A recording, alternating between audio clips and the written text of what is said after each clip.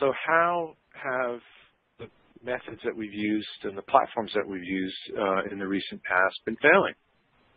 We find these four uh, failings uh, in our work with clients. Projects just take too long. It takes too long to deliver the software required uh, for the, the customer interaction or the customer or the campaign or whatever it happens to be.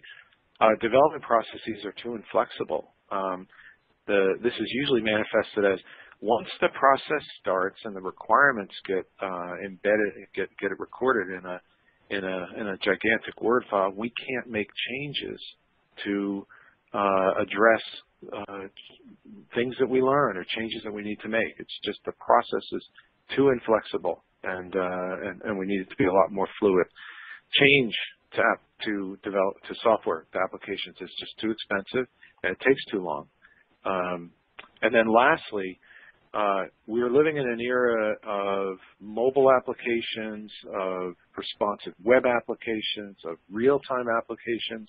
There's a whole set of new technologies and techniques and languages and frameworks that we're using, and that and most most of our clients don't have those talents. They they're new, they're scarce. It's hard to uh, and it's hard to uh, find people, much less uh, uh, Uh, uh, attract them to work for your for your enterprise. So a lot of folks are, are just being are being bedeviled by their their talents are just out of date. Their skills are just out of date.